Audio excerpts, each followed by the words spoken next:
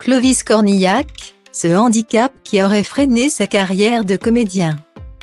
De l'acteur populaire d'Astérix ou de Boris de Nice, Clovis Cornillac est passé avec discrétion derrière la caméra. Ce Lyonnais issu d'une famille d'artistes sort son quatrième film en sept ans avec les couleurs de l'incendie.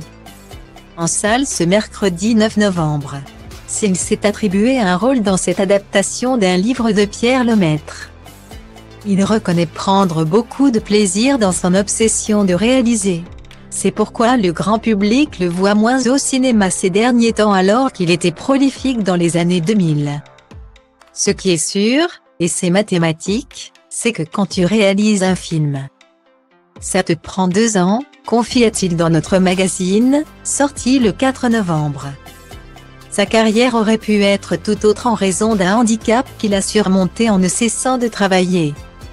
Clovis Cornillac s'est exprimé sur ce sujet délicat dans un prochain en aparté, dont les loisirs dévoile un extrait. J'ai zozoté jusqu'à Britannicu, a-t-il confessé.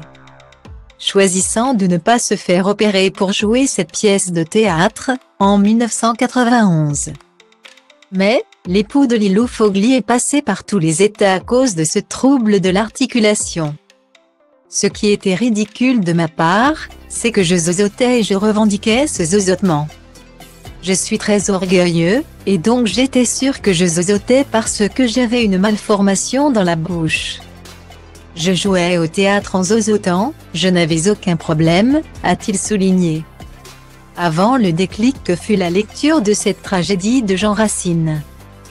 Tu te dis je vais quand même passer pour un bouffon. Je vais être devant mille personnes tous les soirs qui vont hurler de rire dès que je vais entrer sur scène. A-t-il expliqué. Il n'en fut rien puisque Clovis Cornillac a travaillé nuit et matin sur le placement de sa langue. De quoi embrasser une carrière sans couac.